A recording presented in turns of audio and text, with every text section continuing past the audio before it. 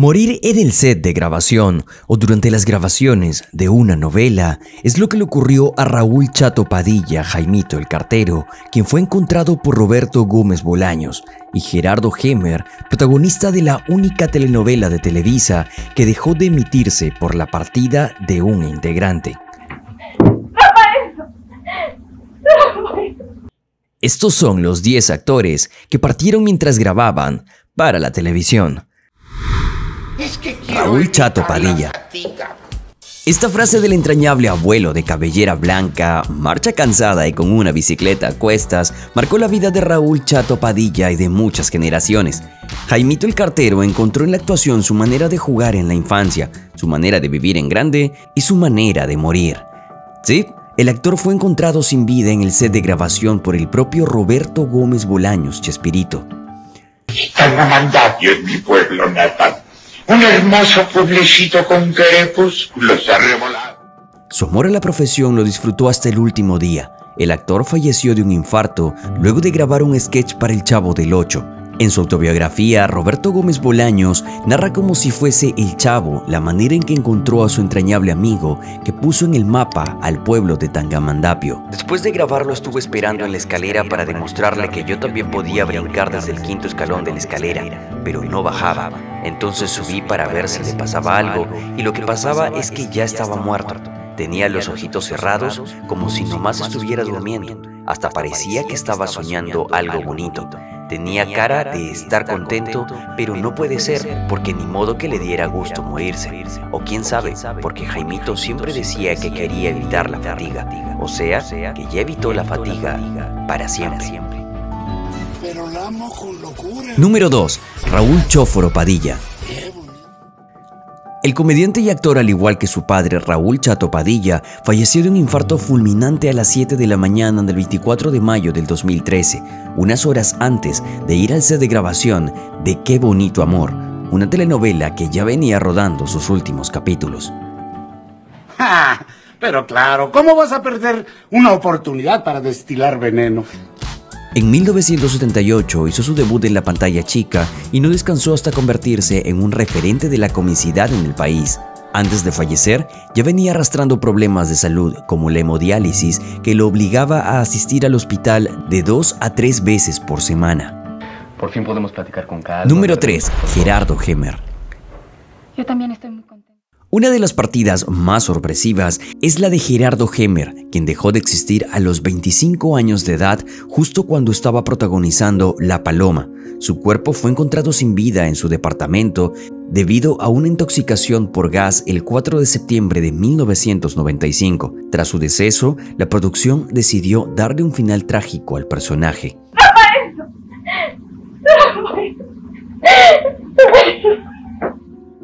Luego de esta escena, el productor José Rendón modificó la historia para darle continuidad. Sin embargo, no pudo lograrlo. La Paloma es la única telenovela de Televisa que ha salido repentinamente del aire, quedando inconclusa en el capítulo número 50. Nunca presentó el letrero de fin, sino que decía la cuña, con amor y todo nuestro entusiasmo va por ti Gerardo, y con una escena de fondo de las palomas volando en la playa, dejó de emitirse. Maite Enville, la protagonista femenina, cayó en una fuerte depresión y no volvió a protagonizar una telenovela y estaría ausente de todo proyecto de televisión hasta Tres Mujeres en 1999.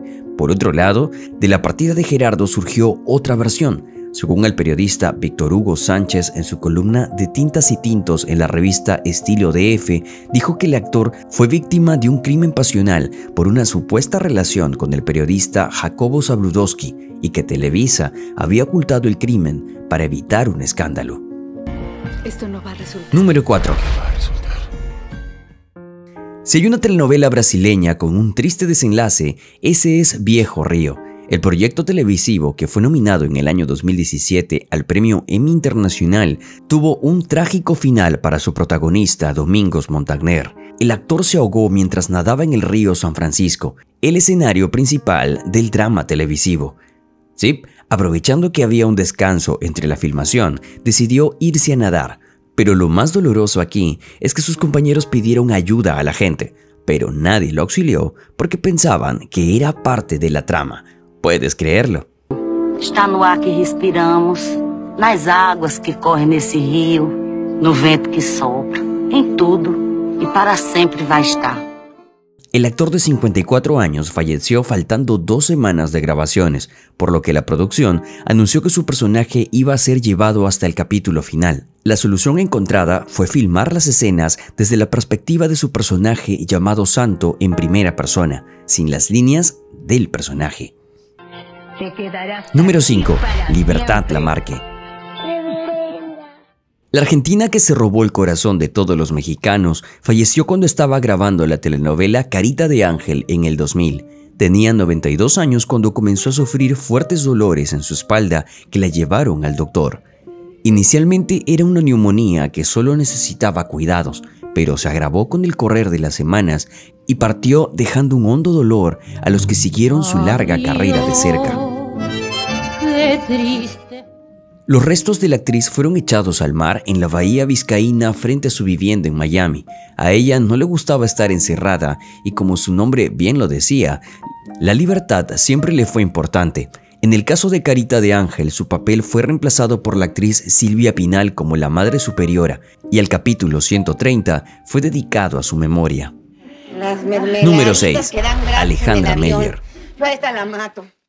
Así como en el 2000 la familia Peluche rompió récords en sintonía, a finales de los 80 lo hizo Dr. Cándido Pérez, donde la actriz Alejandra Meyer saltó a la fama como comediante en su recordado papel como Doña Cata. Con 78 películas, 9 series y 17 telenovelas, la mexicana se entregó por completo a su carrera, tanto así que se fue de este mundo haciendo lo que más le gustaba, actuar. Señorita Minerva, les hace falta una mano dura que lo sepa guiar. Se imagina que, que hubiera sido de usted sin la disciplina de este...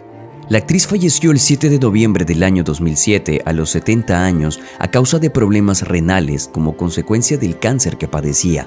En ese entonces se encontraba en plena grabación de la telenovela Yo amo a Juan Querendón. Número 7. Miguel Córcega. Como el padre Anselmo en Cuidado con el Ángel, Miguel Córcega sin saberlo se despedía no solo de las telenovelas, sino también de este mundo.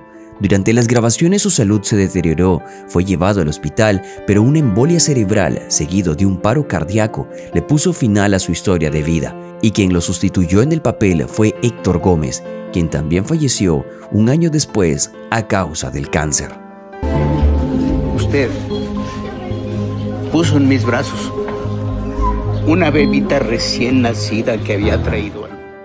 Pero Miguel Córcega también tuvo una carrera prolífera en teatro y películas. No obstante, donde mejor reconocimiento tuvo fue en la dirección de telenovelas. Se hizo de premios TV y novelas en la categoría a Mejor Director de Escena con Destilando Amor, Abrázame Muy Fuerte, El Privilegio de Amar, entre otras cinco más. Número 8. Viridiana la Triste. El 25 de octubre de 1982, Viridiana la Triste Pinal, de 19 años, perdió la vida en un accidente automovilístico al caer a un barranco de 2 metros, después de haber estado en una fiesta en casa de su entonces novio Jaime Garza. La joven actriz dejó inconclusa su participación en la telenovela Mañana es Primavera, donde su madre como protagonista y productora decidió darle un sentido homenaje en uno de sus capítulos. Aquí desde mi vida, desde mí misma. Su madre no quiso mencionar la partida de su hija en la telenovela, por lo que solo utilizó una paloma blanca en un capítulo simbolizando a Viridiana, en que se dice que su personaje Laura decidió irse de viaje, y es que a diferencia de otros proyectos que sustituyen al actor, Silvia no quería que nadie tocase el papel de su hija. Pues Número 9. Jorge Navarro y Luis Gerardo Rivera. Estos dos actores que ves son Jorge Navarro y Luis Gerardo Rivera. Ambos fallecieron durante las grabaciones de Sin Miedo a la Verdad producida por Televisa. Bien dice que cuando te toca, te toca, y pues Magdalena del Río, delegada de la Asociación Nacional de Actores ANDA, quien se encontraba presente, comentó al diario El Universal que el accidente ocurrió después de haber filmado las escenas de acción. Esta es uno de los momentos más conmovedores del proyecto, pues se le puede ver al corrupto Horacio Escamilla como nunca antes, al borde de las lágrimas verdaderas, despidió a su compañero y gran amigo. De la misma forma, lo hicieron para Luis Gerardo Rivera. ¿Se han puesto a pensar que hay personas que dejan huellas importantes? Personas que tocan nuestro corazón con una sonrisa, con una palabra. El accidente habría sido uno inusual, es decir, algo que no podía preverse. Según la versión de la ANDA, uno de ellos perdió el equilibrio y se agarró del otro actor. Lamentablemente, ambos cayeron del puente y así su historia acabó. Número 10. César Pierri.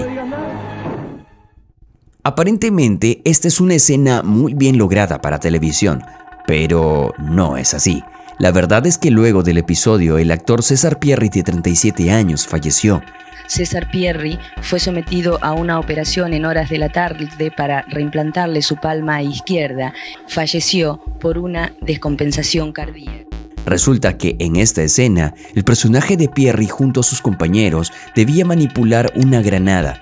En la grabación, el explosivo detonó antes de tiempo y estalló en la mano del protagonista, ocasionando la amputación de tres de sus dedos y la pérdida del sostén esquelético de los otros dos. Fue sometido a varias cirugías, pero fue la cuarta con más de siete horas en el quirófano la que le puso punto final a su historia llena de producciones en la televisión argentina. Y creo que sufrió más o menos tres o cuatro operaciones en 20 días. Supongo que es mucho, supongo que es mucho, sí, no entiendo nada. La serie Mi Socio Imposible se estaba grabando para ser lanzada en agosto de 1992, pero debido al fatal episodio fue cancelada y nunca llegó a emitirse. Es que quiero evitar la fatiga. Espero que te haya gustado esta nota en línea de tiempo. Si te gustó, no te olvides darle manito arriba y suscribirte al canal, activando la campanita para estar al tanto de más notas como esta. Mi nombre es Carlos y nos vemos en un próximo video. Cuídense mucho. Chao.